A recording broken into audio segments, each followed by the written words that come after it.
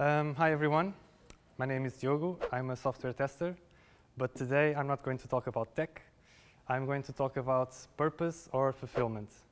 Uh, and I know that this is a very tricky and subjective topic, but hopefully I'll share my lessons learned during my journey and it will also be useful to you. So let's start uh, with my story. Uh, you can't see, but there's a hole here in the chest.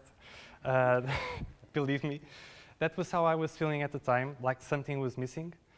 Um, I had this simple routine of just eat, work, sleep, rinse and repeat.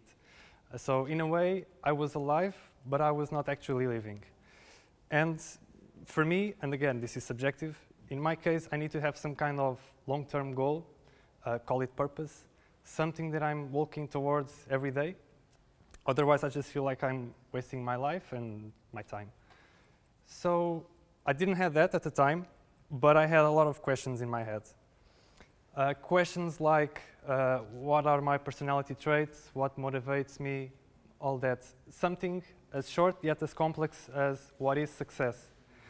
So all these questions in the back of my mind, and I thought, well, I need to do something about this. I need to find some answers.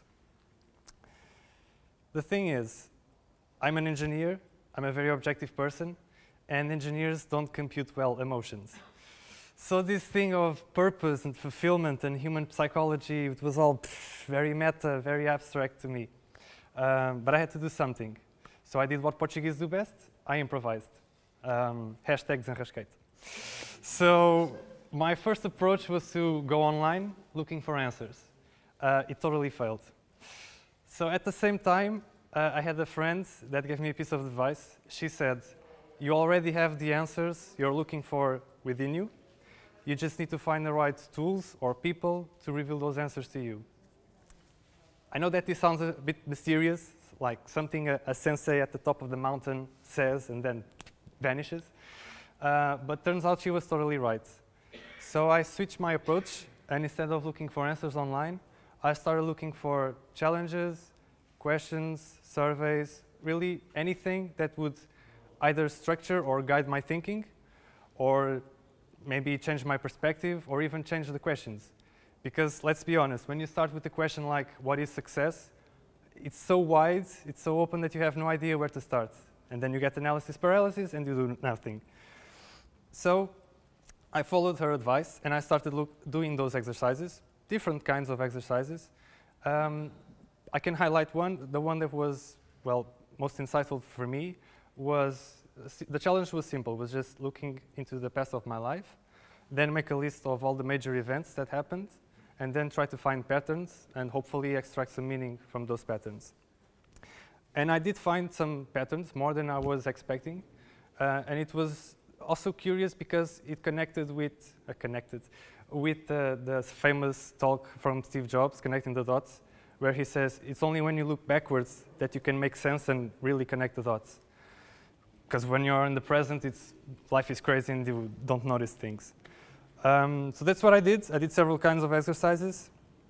And at the end, I learned a lot about myself. I answered things like uh, how I deal with expectations, both personal and also exterior expectations, what motivates me at work, what makes me happy, what drags me down. And I was able to, and I think this was the most important one, to answer that question of what is success, because I created my own definition of success. And I think that's really important because for two main reasons. One is it gives you that light at the end of the tunnel, something that you can pursue every day but it also acts as a guiding light when you need to, if you need to make a decision, you can always, since you have it, since you have it now, you can ask your definition of success if it makes sense to do it or not. So like a simple example was, Andre invited me to come to bar camp. And I was like, mm, I'm not sure if I should go or not. So I asked my definition of success, if doing that was aligned with my values, with my pursuit of success. And it was, so I came in and that's why I'm here today. Because otherwise, you should just say no and save that time to do something else that is more useful to your priorities. So you can ask, well, now that you know all this thing about yourself, the universe, and everything in between, now you know everything, is that the end? No, it's not. It's more like the, the start, it's more of a beginning, because all these information and insights that I got about myself, this is all before I had nothing. So now I have this theory, this hypothesis of what fulfills me, because like I said, this is all very subjective, and this is me analyzing my own life, so it's totally biased.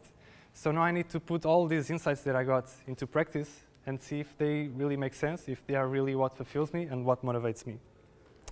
And it was also not the end for me because this was such a rewarding experience for me that I thought, well, maybe there are other people that would like to do a similar journey and they were like me, they don't know where to start. So I wrote this small ebook, which is just a summary of the 14 exercises that I used for my journey. And this table is basically the summary of that. So as you can see, there are all kinds of exercises. I try to rank them subjectively in terms of efforts, from snail to rabbit, like in terms of how much time it takes, and also in terms of insight.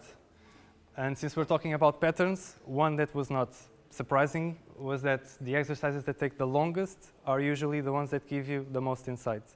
So it's just a, a heads up for you. If you try to do them, um, just keep calm, carry on, because it will pay, uh, pay off at the end. So that's it. Uh, this is the cover of my book. Now you know the meaning behind the visual elements of the cover. And that's the URL where you can download the, link, the, um, the book. It's entirely free, so there are no excuses. And spoiler alert, spoiler alert, you will not find any answers in the book. You'll only find questions. And the reason is because you already have the answers. You just need to reveal them. And that's it. Thanks for listening.